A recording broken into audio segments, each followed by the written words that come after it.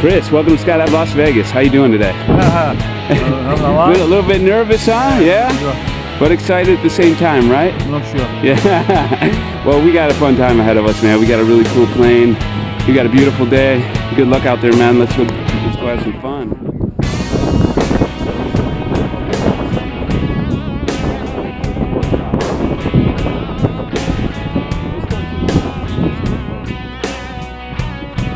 Go. Skydiving in Vegas, baby.